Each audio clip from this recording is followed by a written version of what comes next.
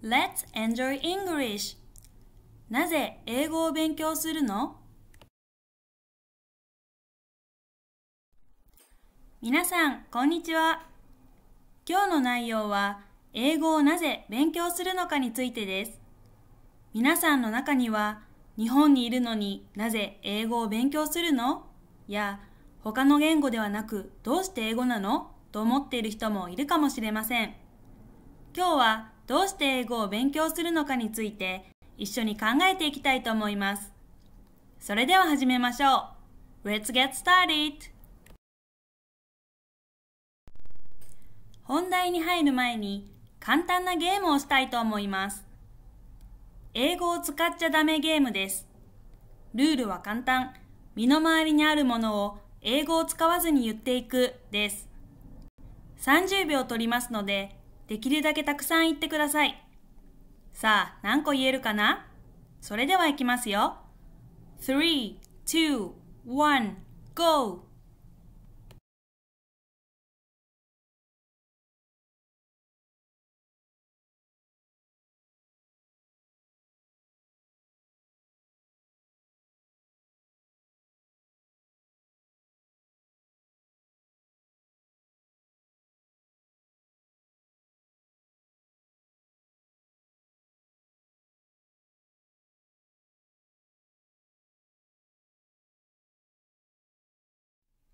どうでしたか？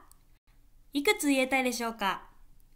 私も試してみましたが、意外と難しいですよね。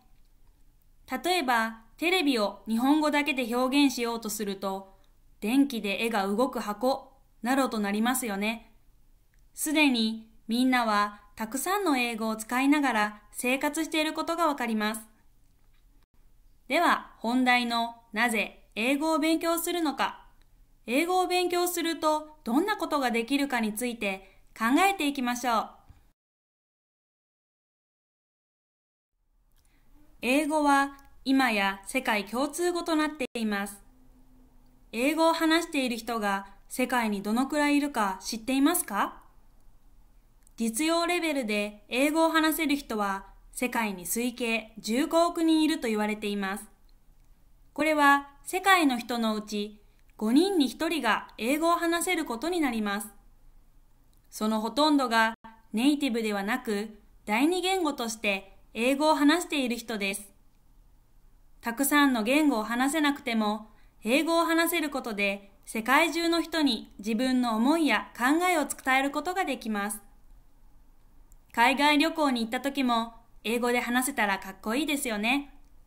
また、現代ではインターネットを通じて日本にいながら世界中の人と話すことができます。英語の授業を通して言葉だけでなく文化や習慣の違いを知ることができます。異文化を知ることで自分の世界観が広がり豊かになります。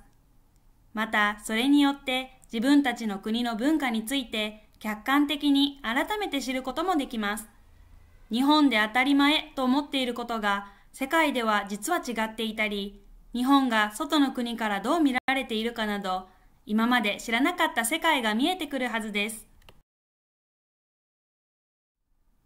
例えば、トイレを例に挙げると、日本では無料で入れる公衆トイレも、海外では有料の国があったり、日本では一般的となったウォシュレット付きのトイレも、来日した外国人が感動し、持って帰りたいというくらい世界では珍しかったりします。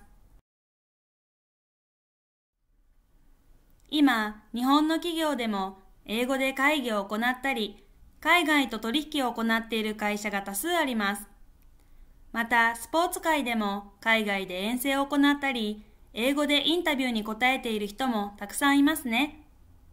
英語が話せると仕事や活動の場の選択肢も広がります。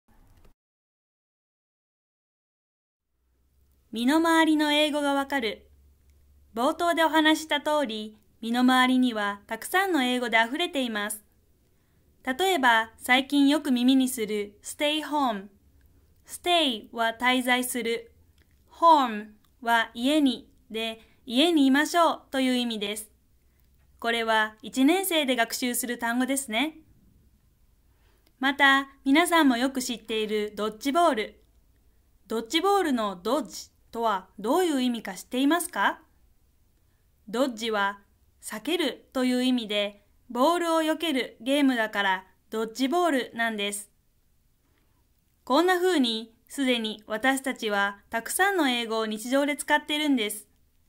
英語を学ぶことでより深めることができます。日本で生活していると英語を話せなくても生活に困る場面は確かに少ないかもしれません。しかし確実に言えることはこれからの時代英語を話せることで自分の可能性やチャンスは大きく広がります。何より英語を話して伝わるととっても嬉しいし楽しいです。これから一緒に楽しく英語を学んでいきましょう。最後に英語の名言を紹介します。Think of all the beauty still left around you and be happy. たとえどんなに厳しい状況でも周りにまだ残されているすべての美しいものを持って楽しい気持ちでいましょう。これはアンネ・フランクの言葉です。アンネ・フランクは戦争の最中、厳しく辛い環境にありましたが、身近にある幸せに目を向け、楽しむことを忘れませんでした。私たちもこのアンネの姿勢から学べることがあるはずです。